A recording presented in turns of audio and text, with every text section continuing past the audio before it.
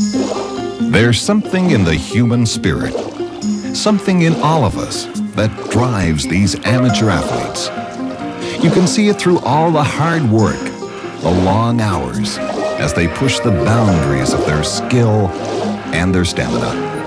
It has to do with commitment, dedication to a single goal. At Bob McDonald's Chevrolet, that goal is your trust.